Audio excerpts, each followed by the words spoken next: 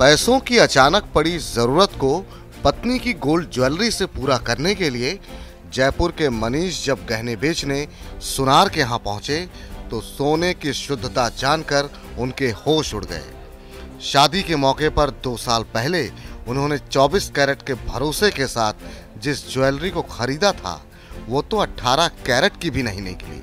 मनीष जैसे लाखों लोगों के साथ आए दिन इस तरह का धोखा होता है। गोल्ड ज्वेलरी की खरीद आमतौर पर ज्वेलर के भरोसे की जाती है।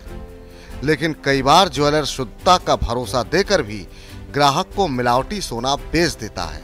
इसी समस्या को देखते हुए सरकार ने पिछले साल जून में 256 जिलों में ज्वेलरी हॉलमार्किंग को लागू किया था और ज़िले में कम से कम एक हॉलमार्किंग केंद्र स्थापित किया था।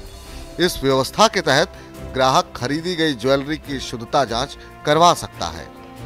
शुरुआत में 14, 18 और 22 कैरेट सोने पर हॉल मार्किंग लागू की गई थी लेकिन अब इस व्यवस्था को और आगे बढ़ाया जा रहा है। सरकार ने पहली जून से 32 अतिरिक्त जिलों में हॉल मार्किंग लागू करने के निर्देश दिए हैं। और अब 20, 23 तथा 24 कैरेट के सोने को भी इसमें शामिल कर लिया गया है। हॉल मार्किंग की इस व्यवस्था के बारे में और जानें इससे पहले समझते हैं कि 14 से 24 कैरेट का सोना क्या होता है। दरअसल ये सभी सोने की शुद्धता के पैमाने हैं। 24 कैरेट सोने को सबसे शुद्ध माना जाता है। इसकी शुद्धता निन्यानवे दशमलव नौ फ़ीसद होती है। 23 कैरेट सोने का मतलब है कि उसमें 23 भाग सोना तथा एक भाग अन्य धातु है और इसकी शुद्धता पंचानवे दशमलव सात फ़ीसद मानी जाती है।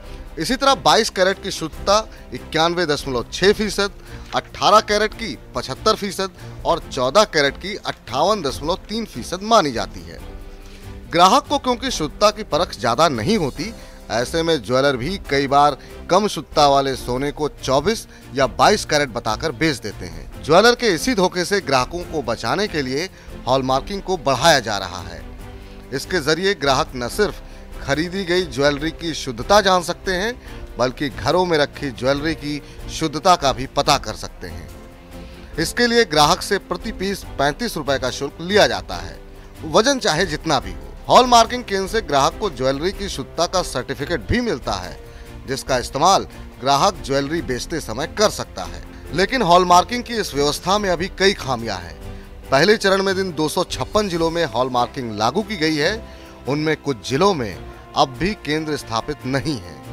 कुछ एक ज़िले ऐसे भी हैं, जहाँ पर केंद्र को बंद कर दिया गया है।